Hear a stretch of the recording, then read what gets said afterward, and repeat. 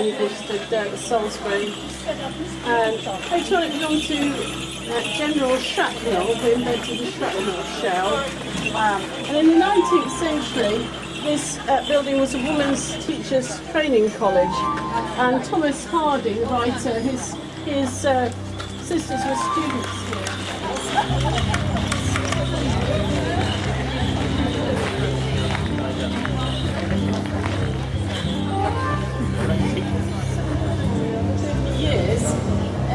Because below the four feet of uh, gravel is 30, uh, sorry, below four foot foundation,